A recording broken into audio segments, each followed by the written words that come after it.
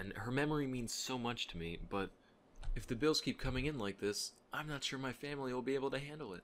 Well, hey man, you know what they This say. is too serious. Don't put all your eggs in one casket. Let's just hope she doesn't get egg-zoomed. I'm sorry. Don't ever contact me or my kids ever again. I understand. Anyway, that's all for today.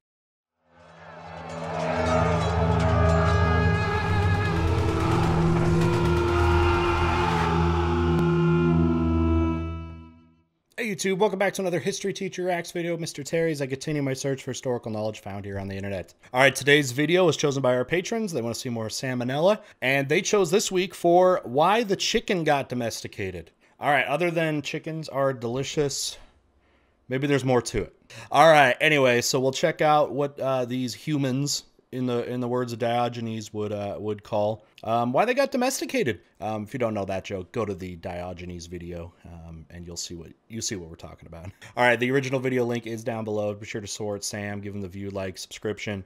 Uh, make sure we love his stuff because we want him back. It's been a while since he put out some videos. Maybe he's taking a break. I don't know, but I'm sure if we can keep his videos popular, keep that support coming, maybe more likely that he comes back. And I know we all want that. All right, if you'd like to join a Patreon, uh, the link is down below. Lets you vote on videos um, to have a little bit more influence on the channel. But thank you for being here regardless. Make sure you sub. I know a lot of you watch and don't necessarily sub. It helps the channel a lot. Give it the like, thumbs up if you want to see more of this stuff. But regardless, thank you for being here and let's go ahead and get started. All right. Tell us about chickens. I'm actually interested in this.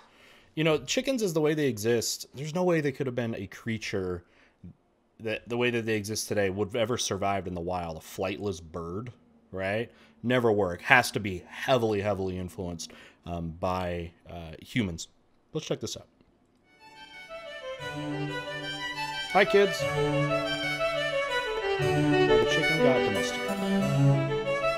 Hey kids, whenever I browse this site, I see more and more videos of people talking about things like YouTuber drama, the election, world politics, and it made me Okay, I, I know I'm not like of people talking about things like Hold on. YouTuber I'm not a big YouTuber, and they talk about YouTube drama. What, what, what, what is YouTube drama? Okay, I don't know who that guy is. the election, I know that guy is. politics, I don't know who that guy is. and it made me think, hey, maybe I should start covering more relevant, nuanced topics in my videos. Yeah. Anyway, let's talk about chickens. So the story of the chicken begins Asia? a long time ago in Southeast Asia. Now, this area had a ton of bamboo growing all over the place. And the thing about bamboo is it follows a very specific life cycle where once every 50 years or so, every bamboo plant in a given region will blossom at the exact same time. Then, shortly Whoa. Why? Every 50 years? Well, how long does a bamboo plant last? As much as other trees generally do, but like every 50 years? Okay, I need a botanist. Can we get a botanist here? Uh, talk in the comments about why this happens. What the heck? so, every bamboo plant in a given region will blossom at the exact same With time. With what? Then, shortly after, they litter the whole area with these little seeds known as bamboo rice, or as I call them, bambinos. These pellets get like that. planted, the current bamboo dies out, and the cycle starts over. Now, Okay, so they the- have a 50 year life cycle. At the very end, they just explode out all their DNA, I guess. And, uh, and it's born. And that thing is going to be edible? get planted, the current bamboo dies out, and the cycle starts over. Now, enter the ancestor of the domesticated chicken, known as the red jungle fowl. The jungle fowl lived in the same area. Okay, why did we get out of? uh, Why did we get away from that? I don't- like you want a jungle fowl sandwich, not a chicken sandwich. Jungle fowl sandwich.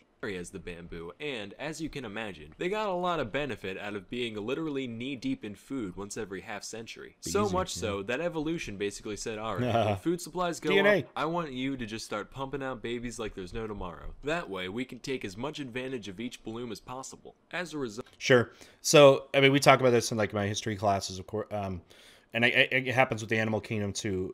An increase of food supply will always mean an increase in population. It just it's what happens um, when when more animals can more animals humans whatever can um, eat more they're healthier and specifically if there's an abundance of food what it means is that there's a uh, much much reduced risk of famine, which historically speaking is kind of one of the leading causes of, of, of death is, is famine because of how fragile really agriculture can be, and this isn't even necessarily agriculture because it's not intentional, but um, how fragile uh, um, food supplies are, right? Especially in, in, in, older times. So more food equals more people, and the same case is happening here.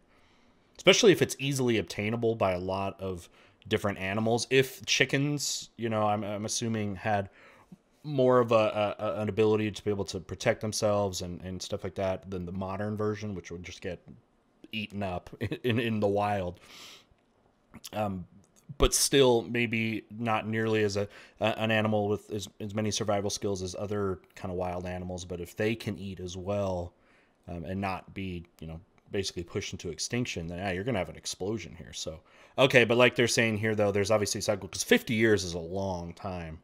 And I don't know again what they mean by all of them at the same time, just because that's how it started that way.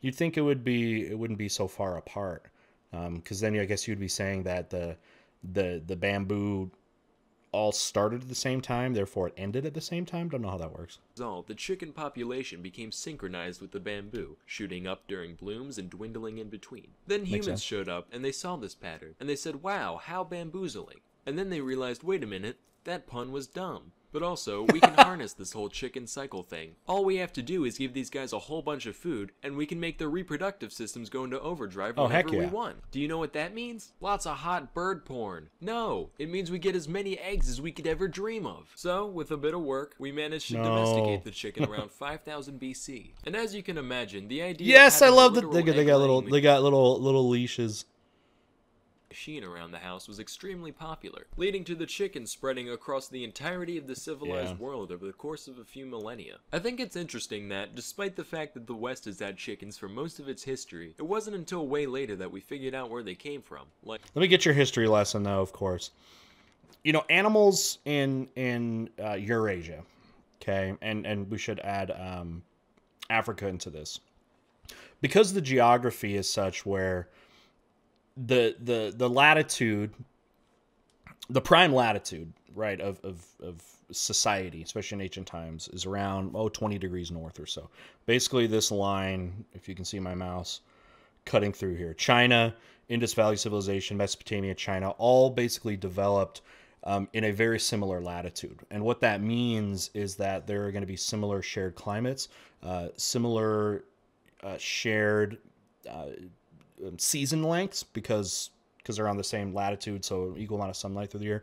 What that means is more than anywhere else in the world, as opposed to like the Americas, food and animals can uh, can can thrive in a huge uh, territory, right? Um, because again, a, a, an animal that's going to live pretty well in much of China might do very well in northern India, um, much more than moving north to south. So you see a lot more east to west movement of animals and plants than you do north south. Because when you go north south, you're changing latitudes, and climates vary a lot more north south than they do east west. That's why, I like the Americas, you don't see this huge sharing of different uh, plants and animals. Not one just one because there's not a lot native to there, but because the climates vary a lot more. So a chicken, you know, especially if it's going to be very productive, is going to easily be able to be spread to Europe, um, uh, Western Asia, and Africa the civilized world over the course of a few millennia. I think it's interesting that, despite the fact that the West has had chickens for most of its history, it wasn't until way later that we figured out where they came from. Like, alright man, yeah. it's time to delve into the world of the unknown.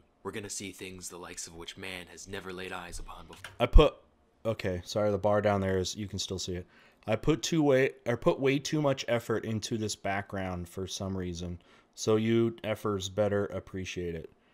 do you guys appreciate it? I hope you do, because I mean, yeah, for for Sam, you know, he doesn't he, he doesn't have the deep art styles. It's pretty it's pretty simple stuff. That's not why we come here, but I mean, yeah, this is this is highbrow stuff. High, this is high. But if you keep talent. your wits about you, we just might make it out of here alive. Hey, uh, is this is this yours? No? Weird. What the hell? Of course, a constantly supercharged uterus yes. is not without its drawbacks. After all, the chicken essentially goes through its entire menstrual cycle every day. So next time your really? girlfriend's complaining about how bad her period is, get her a box of chocolates and be generally attentive to her needs. Oh, jeez. You prick. Anyway, oh, one thing...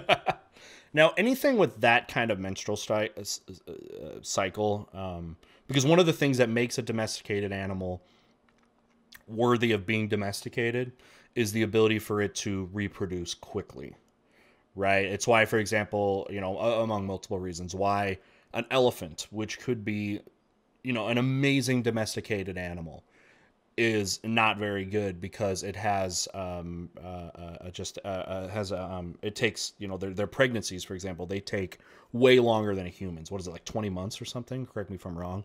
But it's way longer. And the fact that they mature very slowly. So an animal is uh, uh, is most productive of course if you can tame it and stuff but it has a um, short pregnancies and can start giving birth within months or uh, maybe a year or so of their of their existence. And it looks like China, uh, the chickens coming out that came out of China here are perfect for that. With chickens and most other egg-laying critters is that they only have one hole in their pelvic region, which is called a cloaca, I think, or the butt cloaca. Cloaca? So the Croatia basically acts like a funnel, taking all the eggs and waste and sending it down the same chute. And while this might sound convenient at first, there is one fatal disadvantage that affects chickens in particular. Sometimes the egg can get stuck on its way out, leading to a condition known as egg binding. And since this means nothing can exit the clamato anymore, the egg-bound chicken ends up dying of constipation over the course of a couple days. So this, the way the way they've developed it, it, it, it looks like the chicken, it has to have humans to tend it because they're going to have to um, be able to, to remedy this. Hey, Jerry, how you doing? Constipated. Not good, Sean. Not good. Oh, man, what's wrong? It's just, ever since Jenny got egg-bound, things have been so stressful. Her funeral expenses are through the roof, and her memory means so much to me, but if the bills keep coming in like this, I'm not sure my family will be able to handle it. Well, hey, man, you know what they this say. This is too serious. Don't put all your eggs in one casket. Let's just hope she doesn't get egg-zoomed. I'm sorry. Don't ever contact me or my kids ever again. I understand. Anyway, that's all for today. Till next time. Well done, Sam. Nella, and thank you for watching. All right, let's talk about it. All right, so that's the story of the domestication of the chicken. That's great. I I find the the, the early histories of plants and animals and how they kind of came to be a really fascinating thing because nothing we eat, both plant and animal based, is in in its current form is anything like it was in its original form. Right? It took thousands of years of human experimentation to get plants and animals to be the productive things that they are today. I mean, again, look at look at the animals that we eat. Um, they, I mean, you look at them; they're they're not animals that could survive in the wild and didn't look like that. They wouldn't have been able to. Like a cow would, you know, a chicken; those things would never survive in the wild. Um, and then again, the plants we eat too. A lot of them just started as like weeds, and then through cultivation and the better seeds become more nutritious and larger yields and all that. But it's hard to know the history of these things because so much of this happened before recorded history meaning you know the first person to domesticate the chicken didn't write it down their their process uh, but something we have to look i mean i don't know honestly how they how they know exactly about these things uh, but it's interesting to know i just need to learn more about it so but i do find it fascinating because it's an integral part of the human history um, is the domestication of plants and animals i mean it's what changed humans into what we are now. I mean, you look at population growth and technological growth through the history of, of humankind. I mean, it goes on, you know, thousands of years, hundreds of thousands of years, millions if you want to get back. And then it just skyrockets completely with technological and agricultural adv- uh, advancements. Population growth happens pretty much at that point when plants and animals became domesticated. You look at a population chart just explodes once that once that happens, and it's an interesting part of history. And I think it's it's uh, hopefully we can study it more because again, it is fascinating. All right, with that, awesome job of Sam. Good funny stuff there. Thanks patrons for picking this. Um, and uh, again, make sure you support Sam. The link is down below to this original video. Support that. Let's get him back here on the internet. All right, with that, we'll see you next time. Bye.